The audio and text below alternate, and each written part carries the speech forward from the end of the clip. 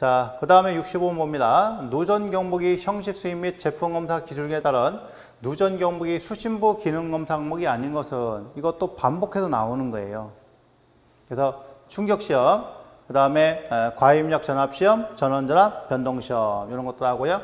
자, 진공 가압 시험은 하지 않는다. 뭐 이런 거라든가 뭐 내식성 시험이라든가 이런 게 답이 돼 있잖아요. 그죠? 진공 가압 시험이라든가 자, 또는 내식성 시험. 자, 기존에는 요걸로 나왔죠. 내식성 시험. 그러니까 이런 이라든가 이런 거 나오면 그게 이제 답이 된다라고 이제 보시면 됩니다. 그러니까 이 부분도 나오는 거기 때문에 이제 여러분들이 좀 신경 써서 보셔야 되는 거예요. 그러면 수신부 기능 검사 항목이 이렇게 돼 있다. 자, 방수 시험, 충격, 전원장, 전원전압 변동, 충격반 회전압, 진동 시험이요. 반복 시험, 개폐기 조작, 과입력, 온도 특성, 전원 내역 시험 이렇게 돼 있다. 그러니까 이거를 전체를 다 외우기 힘들잖아요. 뭐 주관식도 아닌 거니까. 그러니까 아, 시험에 어떤 뭐 진공이라든가 내식성 이런 것들이 답이구나. 그 정도 알고 넘어가시는 거예요. 자, 66번. 66번도 뭐 굉장히 많이 나왔던 것들이라 이거 딱 보면 여러분들이 답을 탁 찾아낼 수 있을 것 같아요. 금방. 비상방설비 화정에 따라 음향식 구조 및 성능 기준이에요. 자, 가루에 들어갈 내용을 얻은 것은 자, 그러니까 최근에 유형들이 이런 것들이잖아요. 빈칸에 알맞은 거 써라. 전격전의 몇 프로에서 80% 전압에서 음향을 받을 수 있는 것을 할 것 돼 있고 네, 두 번째 자동화재 탐지 설비 작동과 연동에 작동할 수 있는 것 그렇죠? 그래서 80하고 자동화재 탐지 설비니까 자 답은 2번이 이렇게 되겠습니다. 67번이에요. 비상 조명 등의 화재 안전 규준에 따라 조도는 비상 조명 등이 설치된 장소의 각 부분의 바닥에서 몇 룩스 이상이 되도록 하여야 하는가 이렇게 되어 있어요. 자, 이거 얼마죠? 아, 1룩스 이상이죠. 네, 답은 1번입니다. 이것도 내 나왔던 그런 문제죠. 자, 68번. 비상방설비 화정에 따른 용어정의입니다. 그러니까 최근에는 용어정의에 관련된 문제가 나와요. 그렇기 때문에 차근차근 보시면 됩니다.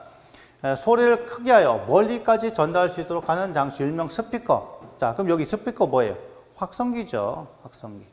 답은 1번이죠. 1번. 그래서 증폭기, 사이렌, 아, 음량 조절기 그런 것들 나오는데 음량 조절기는 뭐 음량을 조정하는 거잖아요. 소리 조정하는 게 아니라. 자, 그러니까 소리를 크게 멀리 전달할 수 있도록 한다. 이거는 확성기, 확대시키는 거고. 그 다음에 자, 이거는 음의 크기를 갖다가 조정하는 그런 부분이 되죠. 자, 그러면 확성기는 소리를 크게 하여 멀리까지 전달할 수 있도록 하는 장치다. 그죠? 일명 스피커입니다. 확성기. 자, 두 번째, 음량 조정기, 조절기. 가변정을 이용해서 전류 변화 음량을 크게 하거나 작게 하는 거.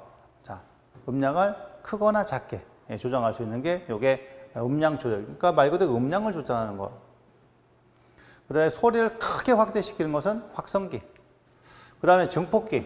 전압전류의 증폭을 늘려 감도를 좋게 하고 미약한 음성 전류를 커다란 전류로 변화시켜 소리를 크게 하는 장치다. 이게 증폭기다. 그러니까 자, 또 음성 전류를 갖다가 변화시킨다는 얘기예요. 뭐의 진폭? 전압 전류의 진폭. 예전에는 이런 것도 나왔습니다. 전압 전류. 자, 아셨죠? 네, 이런 내용들을 좀 아시고. 음량 조정기 나오면 이제 몇 선씩 배선? 3선식으로 한다. 그렇죠? 음량 조정기를 설치할 경우는 3선식으로 한다. 자, 69번 보겠습니다. 자동화재 탐지설 및 시각 경보 장치에 화재 안전 기준 중 중계기에 대한 시설 기준. 요거는 이제 실기 시험에 도 자주 나오는 거예요. 서술형으로. 조작 및 점검에 편리하고 화재 및짐 등의 재해로 피해 받을 우려가 없는 장소에 설치한다. 뭐 그렇겠죠. 수신기에서 직접 감지기 외에 도통시험을 행하지 않는 것에 있어서는 수신기와 발신기 사이에 자 설치를 한다. 그렇죠? 수신기에 따라 감지하는 배선을 통해 전력을 공급하는 있어서 전원 임시기 배선에 과절 차단기를 설치한다. 맞죠? 수신기에 따라 감시하는 배선을 통하여 전력을 공급하는 게 있어서는 해당 전의 정리 즉시 수신기에 비치되는 것을 할 것이겠단 말이에요. 그럼 이게 다 맞는 거냐? 다 맞는 거냐? 자, 지금 이제 보면 이 중계기란 말이에요. 중계기. 그러면 여기 뭐 있어요? 자, 감지기가 있고, 그죠? 그 다음에 네, 감지기에서 화재 신호를 갖다가 받아가지고 올려줘요. 자, 수신기로 주는 거죠. 그래서 수신기와 발신기 사이에 들어가는 게 아니라 수신기와 어디에? 감지기 사이의 배로에 자, 들어가는 겁니다. 자, 그러기 때문에 답은 2번이 된다. 알겠죠? 자, 그래서 수증기와 발sinh 사이가 아니고 수신기와 감지기 사이입니다. 자, 그거를 어, 주의를 하셔야 돼요. 자, 70번 볼게요. 비상 콘덴 설비의 화재 안전 규제에 따라 비상 콘덴트용 풀박스 등은 방청 도장을 한 걸 두께 몇 미리 이상. 자, 이것도 나왔던 거잖아요. 자, 몇 미리? 1.6mm죠. 자, 답은 그래서 2번입니다. 자, 이건 뭐 틀리시면 없을 것 같아요. 자, 그렇다면 우리 이제 비상 콘덴트에 보면 설치 기준이 쭉 있습니다. 이제 그동안에 이런 것들이 주로 나오죠. 제 전원회로 단상규로 220에 제 공업 용량이 1.5 kb 이상이라는 거. 그다음에 층에 있어서 두 개 이상을 한다. 다만 비상 콘덴트가 층당 하나씩 설치될 때는 한 개 외로 할 수 있다 이런 얘기죠. 아, 세 번째 주 배전마에서 전용을 한다. 아, 네 번째 분기 배송 차단기를 보호함 안에 설치하라. 자 보호함 안 요게 이제 뭐 자 박 뭐 이런 식으로 네, 보기를 바꾼다 이 말이에요. 자 보호함 안에 콘센트마다 배송 차단기를 설치해야 한다. 자 이런 것들이 또 중요한 뭐 내용들이고요. 그 다음에 어, 자 개폐기에 자 개폐기 차단기죠. 차단기에 비상 콘센트 써야 되고 그 다음에 풀박스 1.6이고 한 해 전용에 설치하는 콘센트 개수가 10개 이하다. 자, 이 경우에 전선의 공급 용량은 자, 설치 개수. 그렇죠? 근데 3개 이상은 3개의 공급량을 합한 에, 것으로 한다. 지금 이렇게 되어 있어요.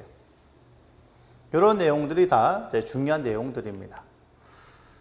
71번입니다. 자, 이것도 기출문제죠. 누전 경목이 형식 수입 및 제품 검사 기준에 따라서 누전 경목이 변력기는 경계 전류의 전격을 흘리는 경우에 그 경계 전류의 전압 강화는 몇 볼트 이하냐 이렇게 했어요. 자, 몇 볼트죠? 0.5볼트가 자, 됩니다. 경계 전류의 전달 변력의 연속性제어한다. 그 답은 2번이에요. 요게 이제 전압 강화 방지 시험인데요. 자, 전압 강화 방지 시험. 그래서 변류기는 경계 전류의 전격을 흘리는 경우에 경계 전류의 전압 강화는 0.5V 이하다. 아셨죠? 네, 이런 부분들을 잘 알고 계셔야 됩니다.